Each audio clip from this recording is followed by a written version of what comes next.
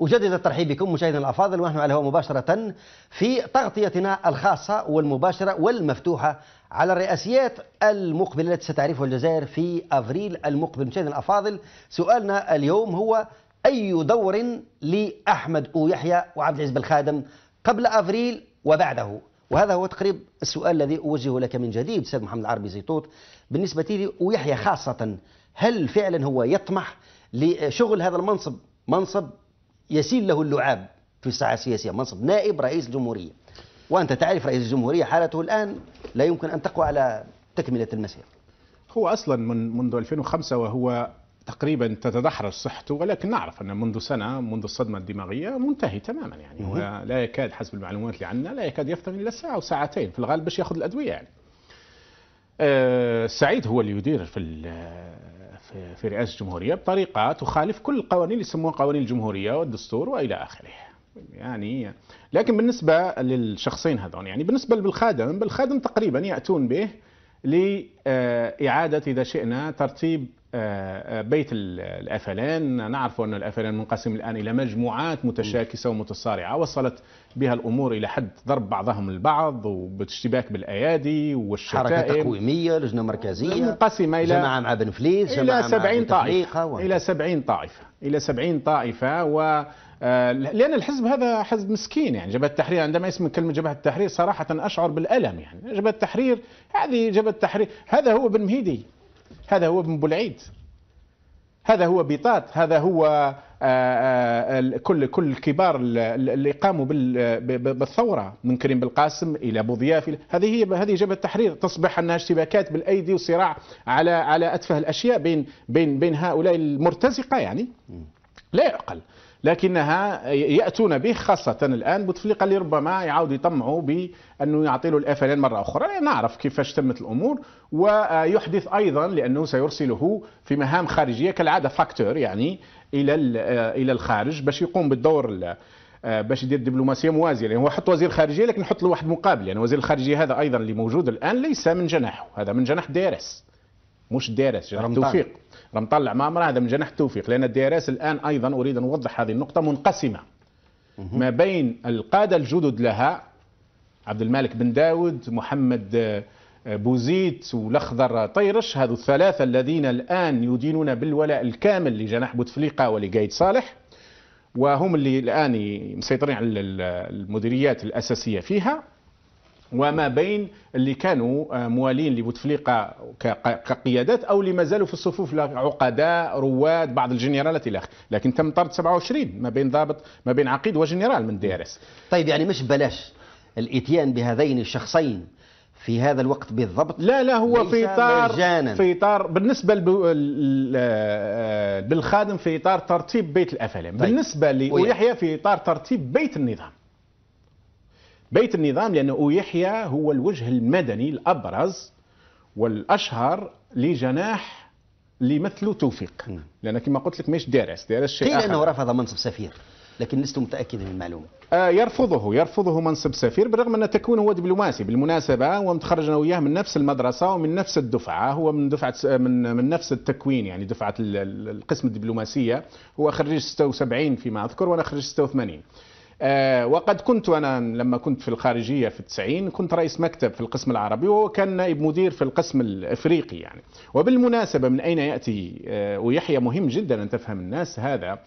في في في نوفمبر 90 كان هناك إعادة وباختصار شديد أقول لك هذا الكلام كان هناك إعادة هيكلة لوزارة الخارجية وكان آنذاك أحمد سيد أحمد غزالي أيوة. آه، عين وزير الخارجية وكان يعيد هيكلة الخارجية. فوصلت ورقة من آه، من من جنرالات المخابرات من توفيق شخصيا فيها مجموعة أسماء أن تعطى لهم مناصب عليا. على رأس هذه القائمة كان أحمد اويحيى. أحمد اويحيى انتقل في الصباح كان نائب مدير بعد الظهر أصبح مدير عام لنفس الإدارة، هذا لم يحدث في تاريخ الإدارة الجزائرية ولا أعتقد أنه حدث في تاريخ الإدارات المعروفة، بمعنى أنه كان قبل 12 كان المسؤول نتاعه هو مدير إفريقيا بعد الوحدة أصبح هو المسؤول على مسؤوله اللي هو المدير إفريقيا أصبح هو المدير العام لإفريقيا قسم إفريقيا في وزارة الشؤون الخارجية واللي كان مسؤوله قبل ساعات أصبح تحته. هذه لا تحدث إطلاقا يعني بمعنى أنه مر في في شكل اللي لازم كان ينتظر على الأقل 15 سنة باش يمر إلى ذلك المنصب. لكن مر بين عشية وضحى. ولماذا؟ لأن أحمد ويحيى في الحقيقة ثبت منذ الثمانينات منذ بداية الثمانينات عندما حدثت أحداث القبائل عند ثبت ولاء للمخابرات. كان يكتب تقارير بالجماعة الأمازيغ الربيع البربري في في 1980 وهو مطلع لأنه هو ابن تيزي وزو ويتحدث القبائلية وحتى يقولون أنه خدع كثيرين منهم بحيث أنه كان يعطيهم معلومات ويقدم معلومات عنهم للمخابرات. ولكن بل حاور العروش أيضا. فيما بعد واتضح هذا فيما بعد أنه كيفاش عبث عبث بالعروش وتعرف أنه كيفاش قدم البعض منهم على أساس أنه أعطاهم أموال وكذا وكسر بهم حركة العروش اللي كانت في كثير من المطالب نتاعها هي مطالب معقولة ومشروعة تماما. لكن في ال 94 آه كان كان عين طبعا مدير عام لإفريقيا ثم ذهب سفير لمالي سفارة مالي لا يعطونها لأي كان وإنما لابد من الموافقة الأولية نتاع المخابرات لأن مالي تعتبر مكان أمني وبالتالي كل سفارات الحدود لابد من موافقة خاصة. م.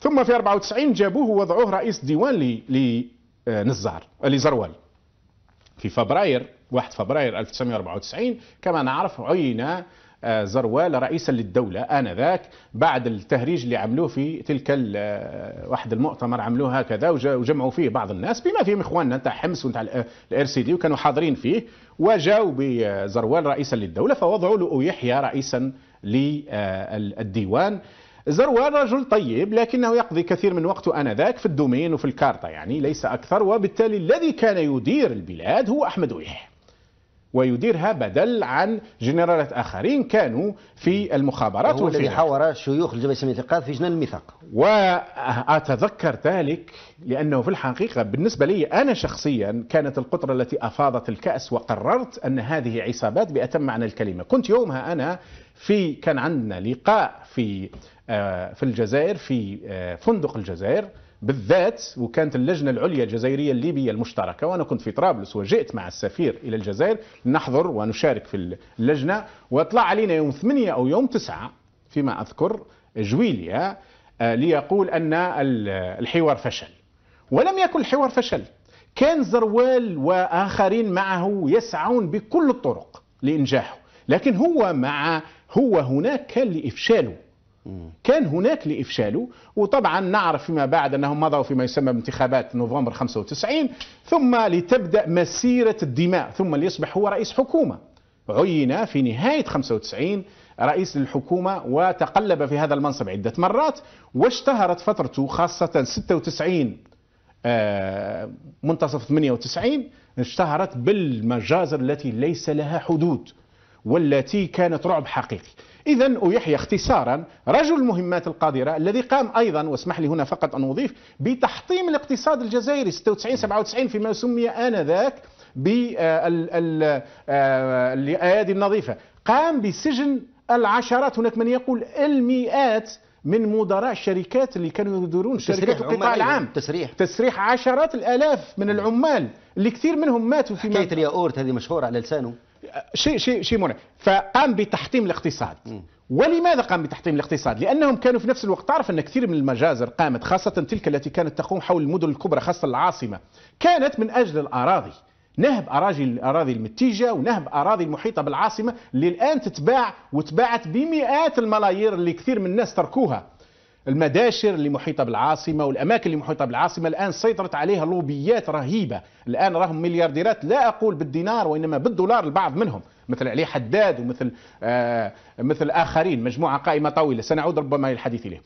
ليكمل لك عليه. إذا كان يقوم بدورين. كانت المجازر تهرب الناس من أراضيهم وهناك مجازر قتلت مش كلها لكن جزء منها قامت من أجل أن يهرب الناس من أراضيهم.